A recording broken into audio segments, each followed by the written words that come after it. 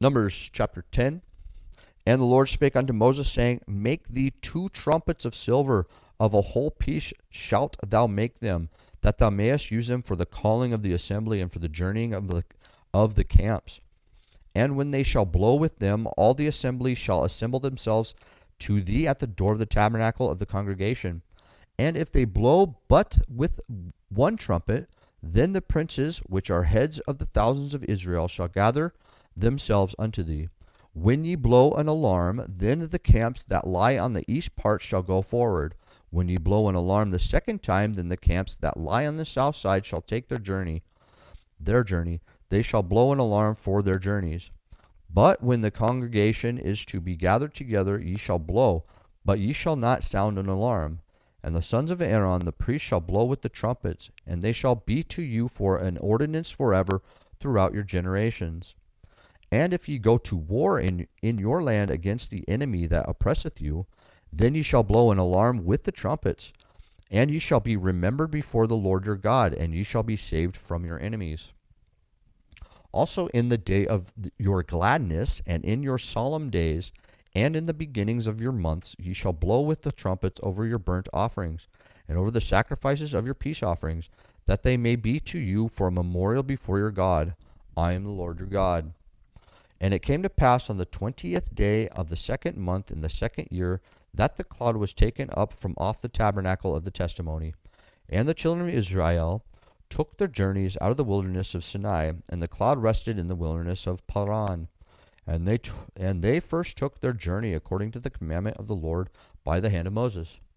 In the first place went the standard of the camp of the children of Judah according to their armies, and over his host was Nahshon, the son of Amminadab, and over the host of the tribe of the children of Issachar was Nethaneel, the son of Zuar. And over the host of the tribe of children of Zebulun was Eliab, the son of Helon. And the tabernacle was taken down, and the sons of Gershon and the sons of Merari set forth set forward, bearing the tabernacle. And the standard of the camp of Reuben set forward according to their armies, and over his host was Elizur, the son of Shedeur. And over the host of the tribe of the children of Simeon was Shelumiel, Shelumiel, the son of Zurishaddai. Adonai. Adonai means Lord uh, in Hebrew. And over the host of the tribe of the children of Gad was Eliasaph, the son of du- Deuel. Anything with El, Daniel, uh, Ezekiel, uh, lots of L's. Emmanuel means uh, God, El, Elohim in Hebrew. A lot of names, a lot of holy names have El. And the Kohathites set forward bearing the sanctuary, and the other did set up the tabernacle against they came. And the standard of the camp of the children of Ephraim set forward according to their armies, and over his host was Elishama the son of Ammihud. And over the host of the tribe of the children of Manasseh was Gamaliel the son of Pedahzur. Pedahzur. And over the host of the tribe of the children of Benjamin was Abidan the son of Gideoni. Gideoni. And the standard of the camp of the children of Dan set forward, which was the reward of all the camps, re reward, excuse me, of all the camps throughout their hosts. And over his host was Ahiezer, the son of Ammishaddai. And over the host of the tribe of the children of Asher was Pagiel, the son of Ocran. And over the host of the tribe of the children of Naphtali was Ahira, the son of Enan.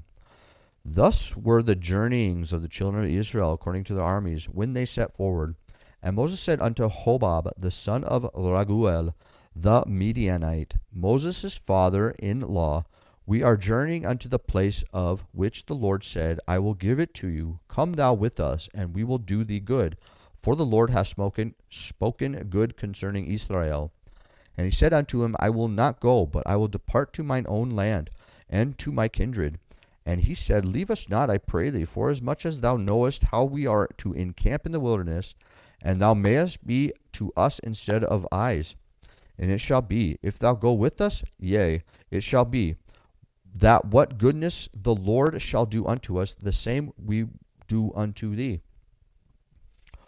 And they departed from the mount of the Lord three days' journey, and the ark of the covenant of the Lord went before them in three days' journey to search out the resting place for them. And the cloud of the Lord was upon them by day when they went out of the camp. And it came to pass when the ark set forward that Moses said, Rise up, Lord, and let thine enemies be scattered, and let them that hate thee flee before thee. And when it rested, he said, Return, O Lord, unto the many thousands of Israel.